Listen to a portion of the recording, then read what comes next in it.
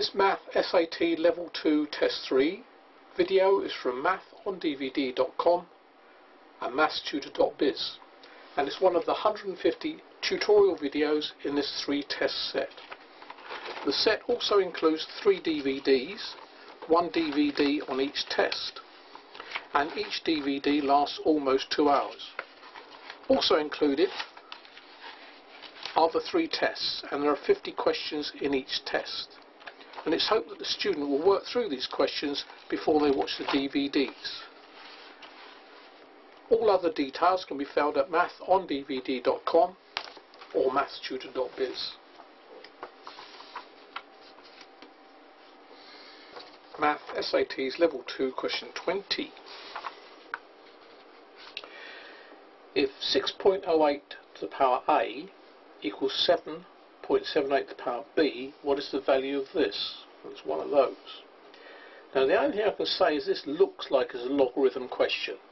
So I'm going to look at some logarithm facts. So here's a logarithm fact. Log to the base anything you like as long as this is the same as this is always going to be 1. And log to the base anything you like of the same number raised to the power n is going to be n. So I'm going to use that fact to start with. So actually what I'm going to do is to find the log of both sides of this. But to this base. So I'm going to do log to the base 6.08 of that and the same on the other side, log to the base 6.08 of that.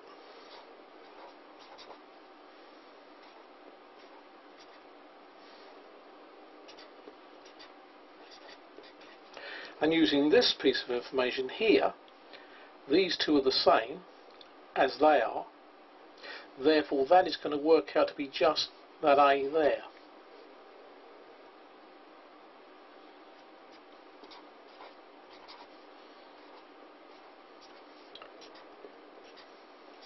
Now that B up there can actually be written down the front here.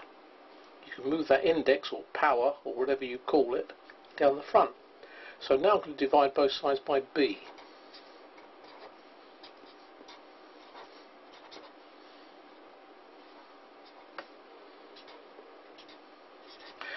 Now my calculator doesn't work in that base, it works in base 10. So now I'm going to use another piece of information.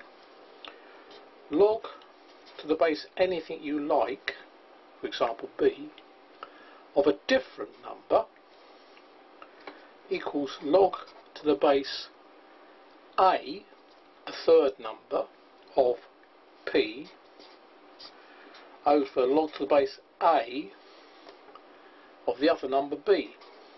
So if I make this a log 10 then I can write this equal to log to the base 10 of p divided by log to the base 10 of b.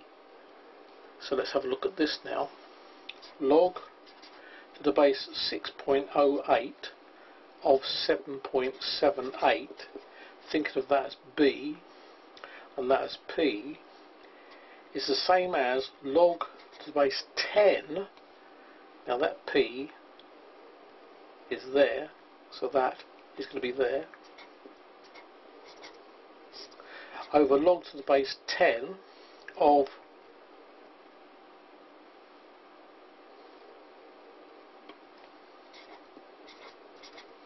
Now log to the base 10, you don't actually have to write the 10. You can just write it like this because that is log 10. And that equaled A over B. And that's what I'm trying to find.